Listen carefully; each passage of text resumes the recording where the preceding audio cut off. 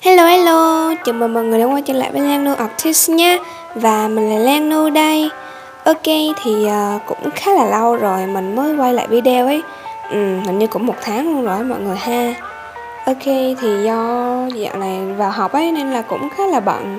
Không có thời gian quay được video mọi người à, Ok thì thời gian ra video với lại edit video ấy nó khá là lâu. Nên là mình không có nhiều thời gian. Nên là ra video khá là ít. Ok. À, thì à, như chủ đề hôm nay theo như tiêu đề luôn thì mình sẽ vẽ tranh trên máy tính nè. Không biết uh, nó có ổn không nhỉ?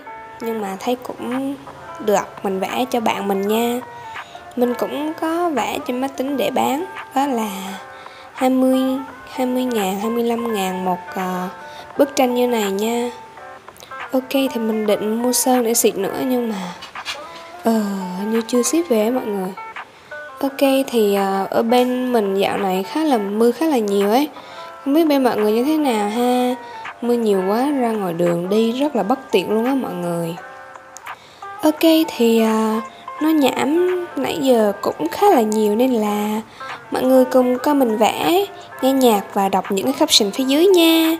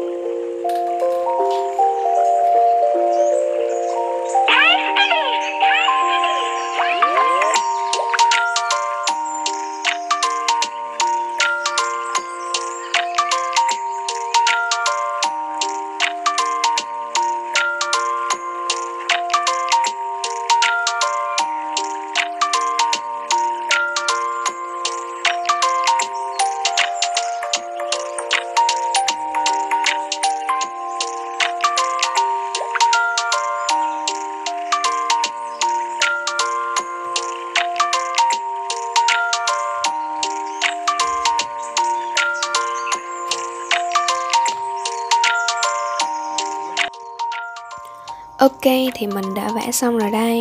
Thì à, lúc đầu mình thấy mình vẽ mặt trăng bị ngược ấy. Nên là mình đã đắp màu xanh và mình vẽ lại rồi nè. Mình đã cắt cái đoạn vẽ mặt trăng này ra.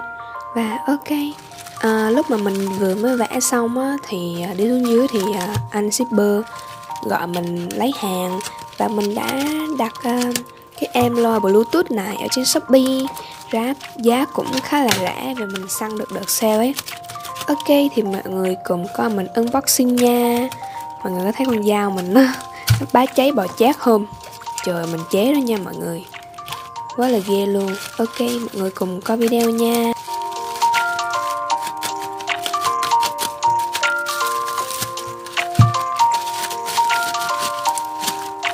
Uhm, Khi mà mua em này về trong cái tờ hướng dẫn thì nó toàn tiếng Trung không nên là khó là khó dịch được với lại là mình kiểu khởi động lên là còn phải chỉnh giờ chỉnh thời gian đọc báo thức được các kiểu.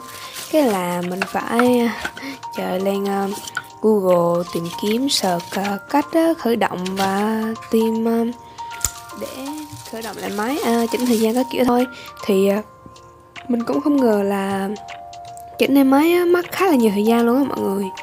Uh, như cũng kiểu mất của mình nửa tiếng á. Không biết là do mình ngu.